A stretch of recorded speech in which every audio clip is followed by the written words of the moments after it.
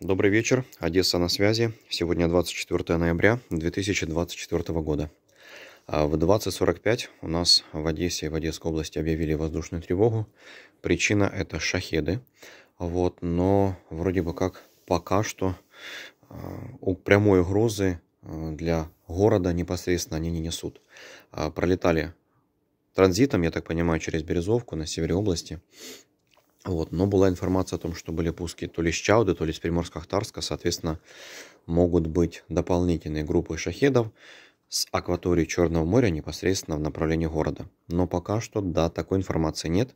Пока что с моря все чисто, на город ничего не летит. Я на связи, будет обновляться информация, буду сообщать. Всем мирного неба, хорошего вечера, подписывайтесь на канал обязательно. До встречи в новых видео, пока.